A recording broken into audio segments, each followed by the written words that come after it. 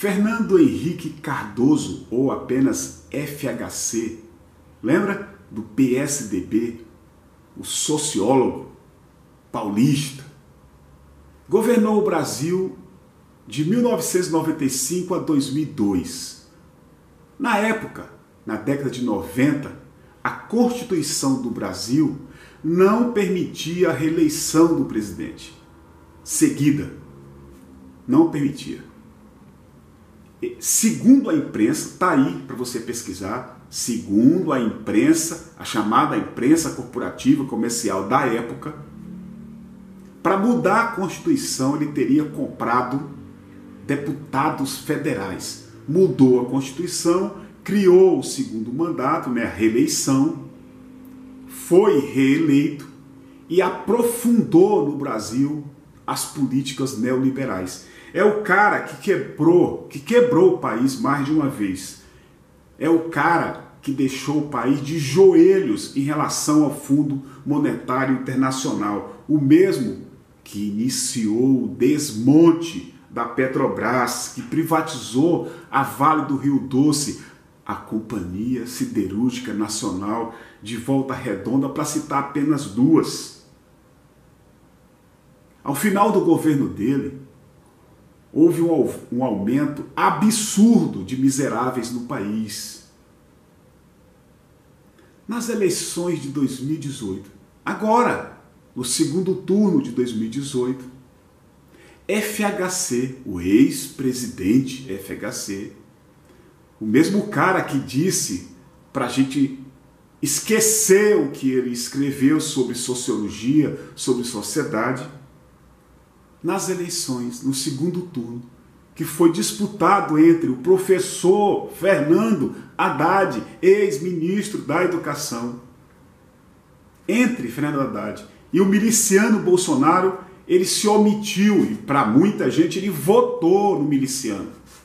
Para justificar isso, esse absurdo, ele disse na imprensa que PT e Bolsonaro eram faces da mesma moeda e foi desmentido.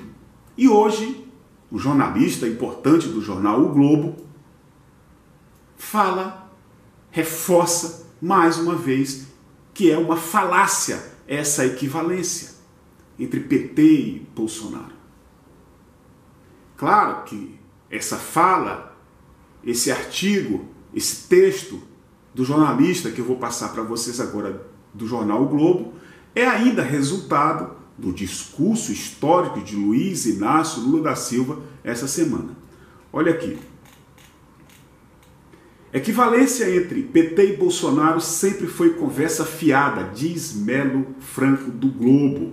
A tese de que o Partido dos Trabalhadores, que governou o Brasil de modo social-democrata, e o neofascismo de Bolsonaro representam os dois espectros ideológicos do Brasil, que foi criada pelo ex-presidente Fernando Henrique Cardoso para justificar sua omissão nas eleições presidenciais de 2018, não passa de conversa fiada. É o que aponta o jornalista Bernardo Melo Franco em sua coluna deste domingo. Abre aspas. A equivalência entre PT e Bolsonaro sempre foi conversa fiada. O partido de Lula tem muitos defeitos, mas nasceu na luta contra a ditadura e governou pelas regras da democracia. Quando Dilma Rousseff sofreu impeachment, os petistas entregaram as chaves do palácio e foram para a oposição, escreveu o jornalista do Globo. Ele disse mais: Bolsonaro é o antigo defensor do autoritarismo, da tortura e das milícias.